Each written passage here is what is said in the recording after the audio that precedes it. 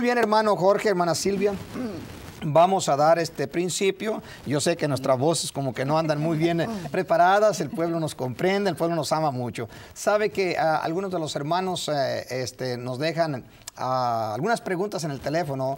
Ah, algunos de mis hermanos me dejaron, pastor, este, me gustaría que me hablase, pero no me dejan el número de teléfono y entonces no hay cómo hacerle. Pero una hermana me habló y, o dejó una- un mensaje ahí en el teléfono y dice, pastor, a ver cuándo preparan un mensaje que tenga que ver con jubileo ah, con la fiesta de jubileo, con lo que tiene que ver con jubileo. Así que la próxima semana, con la ayuda de nuestro Dios, ¿les, les parece? Vamos a preparar un mensaje para lle- llevarlo a la comunidad, al pueblo, y que tenga que ver con jubileo, todo lo que significa. Si la hermana nos está mirando en este momento, lo vamos a hacer para honrarle, hermana, y también para informarle más con respecto de lo que tiene que ver jubileo. Amén. Así que, hermano Jorge, vamos a dar principio y le voy a pedir que nos lea en Apocalipsis 7, versículo 4 al 6. Y a lo demás es una repetición de los nombres de los pasajes que estuvimos estudiando. Amén. Amén. Dios les bendiga, amados hermanos. Y así vamos a darle seguimiento al capítulo 7, versículo número 4, que lee de la siguiente manera. Y oí el número de los sellados, 144 mil sellados de todas las tribus de Israel. De la tribu de Judá, 12 mil sellados. De la tribu de Rubén, 12 mil sellados. De la tribu de Gad, 12 mil sellados. De la tribu de Aser, 12 mil sellados. De la tribu de Neftalí, 12 mil sellados. De la tribu de Manasés, 12 mil sellados. Y así sucesivamente. Amén. Hasta que completamos las 12 tribus. Muy bien. Este, ah, una de las cosas que establecimos en los programas pasados es que ah, el pueblo que nos está sintonizando, ha habido algunos grupos por ahí que les han informado que estos 144 mil eh, pertenecen a los ministros, ancianos o dirigentes de sus iglesias, de su iglesia, de esta organización o agrupación. Pero a la escritura es clara. Lo dejábamos nosotros saber en la semana pasada que la forma menos ah, o más bien más apropiada de estudiar las escrituras es en la forma literal. Hay algunos ejemplos eh, simbólicos que tenemos que entenderlos de esa manera, pero si la persona estudia su Biblia en una forma literal, los errores cometidos van a ser mucho menos Cierto. que si la quiere simbolizar, porque hay grupos que quieren simbolizar, a todo le dan un simbolismo. Bueno, esto eh, va a trabajar conforme la mente de la persona que le esté dando el simbolismo. Cada quien le va a dar uno.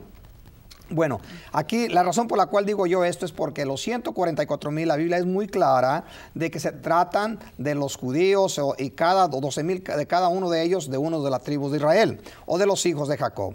Jacob, ustedes que conocen la escritura saben que nuestro Dios, después de tener un encuentro con Jacob, eh, cuando regresaba de Aram, en el río, cuando se encuentra y empieza a luchar el ángel de Jehová contra Jacob, al final Dios se encarga y le da un nombre y le dice, ya no se llamará tu nombre Jacob. Que en otras palabras le estaba diciendo el Señor, ya no será tu nombre más llamado suplantador o engañador, sino que tu nombre será Israel, príncipe delante de Dios. O sea que es un nombre bien especial que Dios le dio a Jacob. Bueno, estos, estos hijos de Jacob, eh, tenemos varios eh, eh, grupos, puesto que Jacob tuvo hijos de Lea, la primera esposa, Raquel la segunda, pero también tuvo hijos de, dos concubinas o siervas de sus esposas. Claro que esto en aquellos tiempos la ley todavía no se daba, por lo cual había habido estas... eh, se podía delante de Dios tener esta, estas dos esposas y, y tener relación así.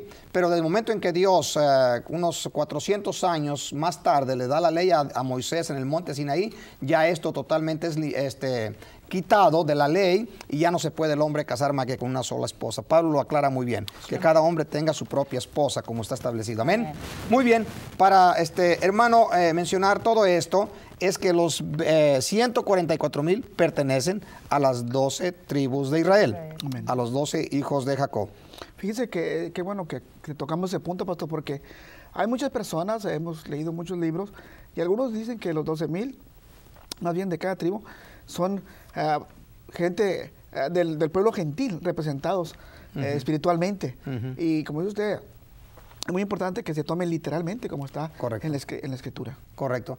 Y es, es- es bueno porque así no puede, la, la gente no es engañada por alguien que lo pensó de esta manera, lo pensó de la otra. Eh, Dios no nos dejó su palabra para confundirnos. Ahora, si nosotros queremos confundirnos y decir esto significa esto, esto significa aquello, bueno, lo podemos hacer y Dios no nos va a, a, este, a- a atar de nuestras manos y a decir tienes que hacerlo de esta manera. Pero eso ya depende de la persona. Pablo le dijo a los gentiles, el que quiera ser ignorante, que lo sea. Amén. ¿Me entiende? Y es una palabra fuerte, pero fue Pablo quien la dijo y yo la estoy repitiendo solamente. Amén. Suficiente información.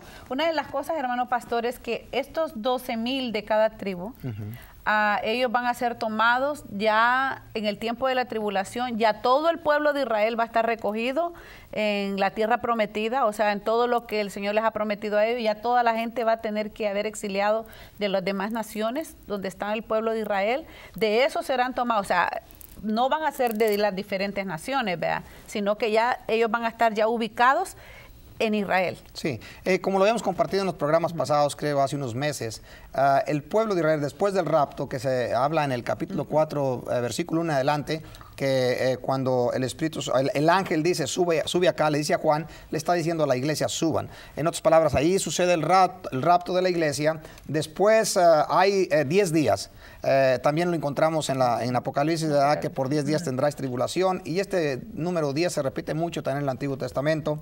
Ah, en esos 10 días hay esa porción de tiempo que son los 10 días últimos de los 40 de duelo del pueblo de Israel. El pueblo de Israel tiene un mes, el, el mes de Elul, que son 30 días de los cuales tiene que buscar el rostro de Dios para llegar el día del sacrificio, la fiesta de expiación que nosotros conocemos, donde entraba el sumo sacerdote una vez al, al lugar santísimo con sangre eh, para representar a todo el pueblo. Eso lo hacía el día 10 del mes de Tishri.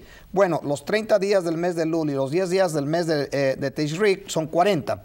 Pero estos últimos 10 días, la iglesia es arrebatada en el primero del mes de Tishri. Al número 30 del mes de Lul se termina, suena la trompeta, la iglesia se va y entonces pasan los otros días, días de gran tribulación. Va a haber un caos en la tierra, lo estuvimos hablando con detalle, eh, terremotos, eh, este, aviones que se destruyen, se caen, por los pilotos eh, parten con el Señor. ¿Cuánto desastre habrá en la tierra? La Biblia lo enseña. Bueno, entonces los judíos tienen un espacio de nueve días para regresar al pueblo de Israel. Y el, Pablo cuando habla a los romanos dice que el pueblo de Israel será salvo como en un día. Amén en una hora, perdón. Entonces, todo el pueblo de Israel, por eh, eh, influencia del Espíritu Santo, por revelación del Espíritu Santo, hermana, van a regresar todos a la tierra. Todos los judíos regresarán. Es cuando Dios dice que los recogerá de los confines de la tierra. Y el, para el día 9, en la tarde, tiene que estar todo el pueblo de Israel. Porque el día 10 tienen que amanecer para ofrecer el sacrificio del día de la expiación. Eh, y esto es algo increíble, a decir, ¿cómo puede ser posible que todos los judíos regresen en tan solo 10 días? Lo van a hacer para Dios no hay nada imposible. Es que Dios se va a acordar, acordar, del pacto que hizo con los padres. Y a causa de ello, hermana Silvia, va a recompensar a los hijos en esta última generación. So, todos estos 144 mil, sí, serán de los judíos que ya están de regreso en la patria de Israel. Y de, hecho, este, la venida de Cristo está tan cerca que ya han empezado muchos judíos a regresar. Tenemos, Actualmente están regresando bastantes. Amén. Tenemos cientos de miles de personas que están, o judíos que están regresando principalmente de la, de la, tierra del norte. Hay un pasaje en el libro de Jeremías que dice, ya no, ya no diréis más, eh, este, no, bendito el, Dios que nos hizo sacar de la tierra de Egipto, del cautiverio, sino Jehová que nos hizo volver de la tierra del norte, o algo así va más o menos este, dando a entender que el éxodo de la tierra del norte o de Rusia, de Turquía, eh, de Mesec y Tubal, como dice en el libro de, Ezequiel capítulo 38 39, este, será, es grande, es gigantesco. Y ahorita están volviendo cientos y cientos de miles de judíos a la tierra. Pero en este día, después del rapto de la iglesia, como que los ojos de todos los judíos serán abiertos. Y entonces dirán, no, pues entonces lo que los gentiles de estos cristianos locos nos predicaban es verdad. Mm. Y se convertirán al Señor y regresarán a la tierra. Será algo extraordinario que estará sucediendo. Y de ellos el Señor tomará a 144 mil.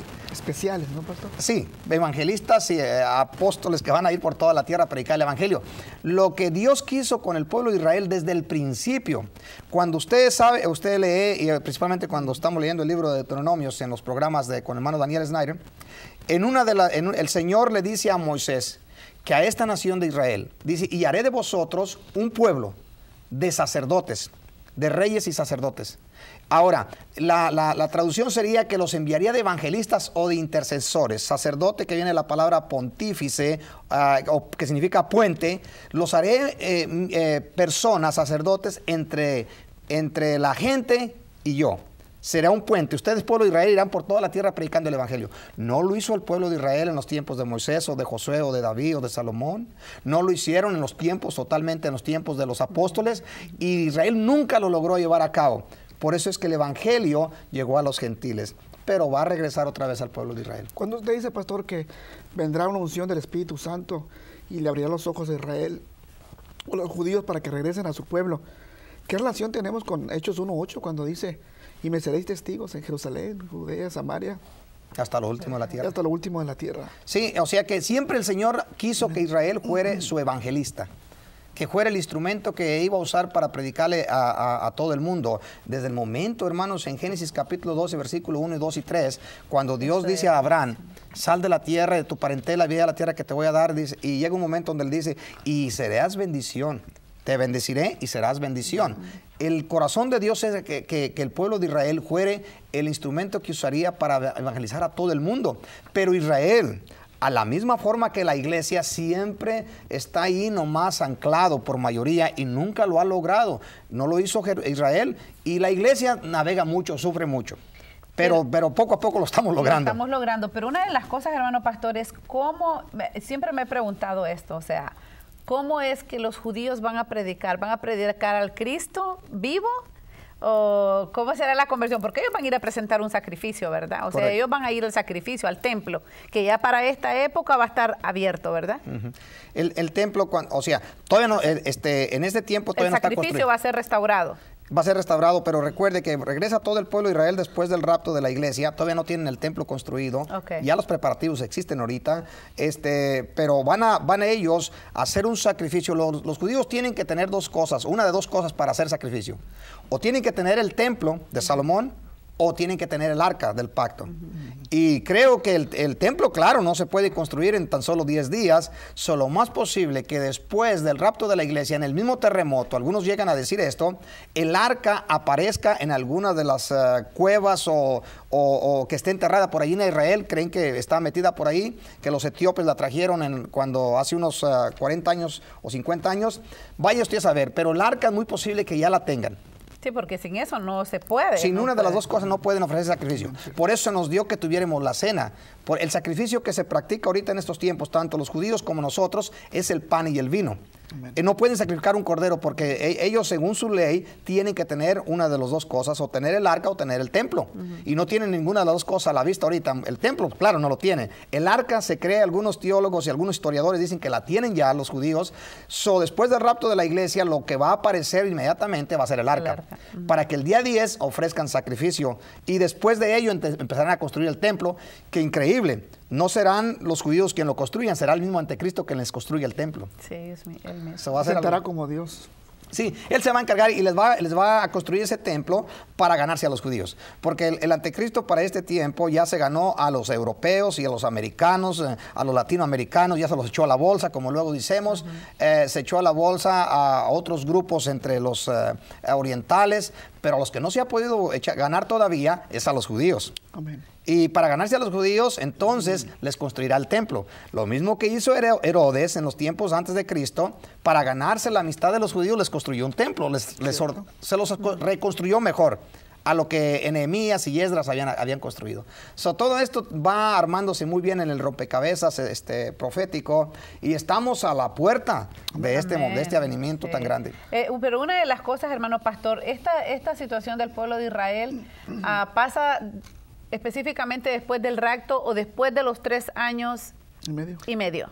La construcción del templo. La, sí, o sea, la, cuando son elegidos ellos, los 144 Oh, los 144 mil, este, e, esto pasa como, vamos a decir, entre más o menos un año, un año y medio de, que ha empezado la gran tribulación. Sucede el rapto, eh, viene el, sacrificio que harán el día 10 del mes de Tishri, em, eh, con, aparece el arca del pacto, ah, empieza la reconstrucción del templo para un año y medio, dos años, eh, dos años por ahí, eh, cerca de los tres años, este, eh, se levantan estos 144 mil y empiezan a predicar por toda la tierra. El, el, templo ya está construido para los tres años. A los tres años y medio, el anticristo se pone en el templo, se sienta en el templo haciéndose pasar por Dios. Entonces, cuando los judíos lo rechazan una vez más. Pero el pacto que hará el anticristo con los judíos será, por, por decir así, es nomás tirar un número al aire, va a ser después de los diez días, cuando el pueblo de Israel regresa el anticristo sale a, flote no como anticristo todavía,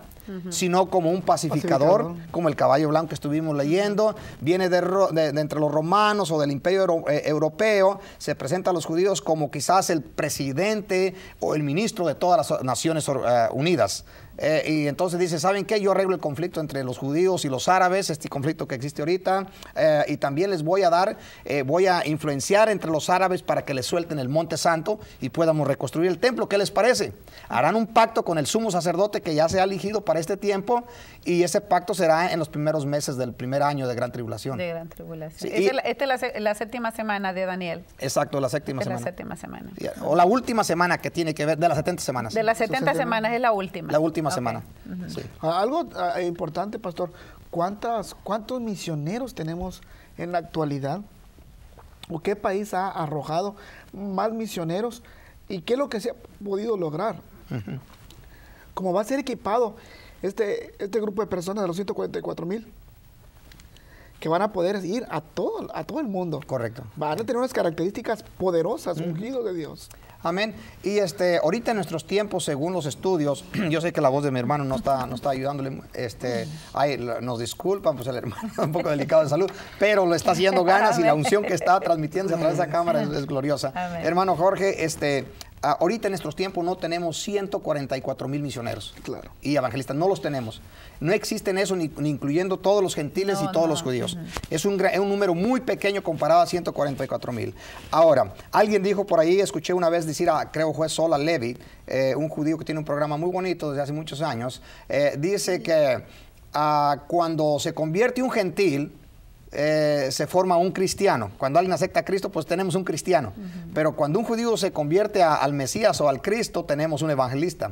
Bueno, eh, este, recordemos que estamos viendo tiempos de donde los milagros y las cosas sobrenaturales se manifiestan muy a menudo en el cielo y en la tierra y la conversión de estos, de estos judíos, 144 mil, y esa unción que del Espíritu Santo será derramada será poderosa. De tal manera que cada uno de ellos será misionero, evangelista, apóstol, profeta, e irán por toda la tierra. En tan solo dos años, tres años, estos hombres habrán cubierto la tierra con el Evangelio. muchos de ellos van a ser perseguidos por, eh, por los, eh, este, la religión, la religión apóstata, serán perseguidos por los gobiernos de diferentes países ateos. Eh, muchos de ellos perecerán. Casi la mayoría de los 144 mil van a morir todos. Creo que, si no me equivoco, todos morirán en el proceso para los, años, para los tres años y medio. Y parece imposible que van a evangelizar a toda la tierra, pero yo creo que los medios de comunicación será un factor muy importante. Por ejemplo, vemos a un hermano Benny Hinn, que ha tenido hasta 5 millones en África. Correcto. Tenemos un Morris Urul que son judíos, que tienen eh, una, una, palabra tan persuasiva que, que, llenan masas, tocan las masas sociales y de todo tipo. Ya. Es que yo pienso que a través de los medios de comunicación van a ser muy efectivos para cubrir toda la tierra. Exacto, y, lo, lindo de este asunto es que nosotros vamos a participar en ello, les vamos a dejar el canal 21 Visión Celestial y los otros canales que ya para este tiempo tengamos, se los vamos a dejar para que los usen a, los pueblos de Israel. Hay una, hay una escritura, y disculpen que no nos hemos introducido mucho en esta escritura, pero es algo bien importante lo que están compartiendo mis hermanos y estamos aquí este, dialogando. Este, la escritura de Mateos capítulo 25, eh, eh, siempre el pueblo eh, este, nomás vamos a hablarlo un poquito, no necesitamos ir a buscarla. Cuando se llama el juicio de las naciones, el encabezado dice el juicio de las naciones. Y llega una porción donde dice la escritura, este, que viene, el Señor aparta los corderos, aparta los unos de los otros como el pastor aparta los corderos de los cabritos. Ah, y luego dice que cuando viene a los, de los, a los, a los corderos, le dice, venid benditos de mi Padre al reino preparado para vosotros desde el principio desde antes de la fundación del mundo. Y luego le dice a los cabritos, apartados de mí. Entonces dice que vienen las ovejas, los corderos, y le dicen, Señor, este, porque Jesús les dice, porque tuve hambre y me diste de comer, tuve sed y me diste de beber, estuve en la cárcel y me visitaste, eh, estuve enfermo y me fuiste a, visitar, etc. Y, y, luego entonces ellos se preguntan, dice, Señor, pues ¿cuándo hicimos tal cosa? El Señor les responde, les dice, cuando lo hiciste a uno de estos mis hermanos, más pequeñito a mí lo hiciste. La iglesia cristiana siempre decimos, lo usamos de una forma general, pero no está hablando de, de estos tiempos aunque si lo practicamos en estos tiempos es buenísimo, pero no está hablando de estos tiempos. Recuerde, es el juicio a las naciones. El capítulo 24 de Mateo se está hablando de la gran tribulación. En el 25 está hablando cuando Cristo regresa a juzgar las naciones que quedaron. Está hablando del trato que se le dio a estos 144 mil. Y es muy importante que la gente pueda diferenciar lo que es el rapto y lo que es la segunda venida de Cristo, que es lo que estaba mencionando usted, pastor. Correcto. Entonces, cuando Cristo dice a uno de estos mis hermanos, está hablando a uno de los judíos. No que a nosotros no nos llame hermanos, este, pero realmente en esa escritura se está refiriendo directamente A ellos. a los 144 mil que se levantarán. ¿Entiende? Y que lo hermoso de, de esto también, hermano pastor, lo, me encanta mucho la misericordia de Dios, que aún en medio de la tribulación hace esto Él, hace esta, esta como este es el Un intermedio, vea, este Sí. paréntesis que nosotros estamos viendo aquí, porque esto no es nada de, lo, de los de ningún sello. Vea, el, el, el versi- capítulo 7 es la, el, el- ese gran paréntesis que se hace entre el 6 y el 8. Ah, pero una de las cosas importantes es esa misericordia de Dios, de en medio de la tribulación, el tener ese deseo de seguir salvando las almas. Yeah. O sea, porque no solo se van a dice que de toda tribu, lengua y nación, o sea, vea, porque no van a ser, los 144 mil van a ser los evangelistas, los misioneros, es lo que nosotros tal vez estamos haciendo hoy, pero no alcanzamos ese esa gran cantidad de masas, pero ellos lo van a hacer en ese tiempo, no va a haber ningún gentil predicando en ese entonces, ¿verdad? Eh, puede que de los gentiles que se vayan convirtiendo, vayan predicando también. Eh, pero recuerde que se van a ir convirtiendo gentiles y gentiles van a seguir también las mismas pisadas. Pero realmente los que, los, eh, los que dan principio a, a esta, a esta forma masiva de evangelismo son los 144 mil. Pero también eh, la Biblia no nos explica si habrá gentiles que se vayan.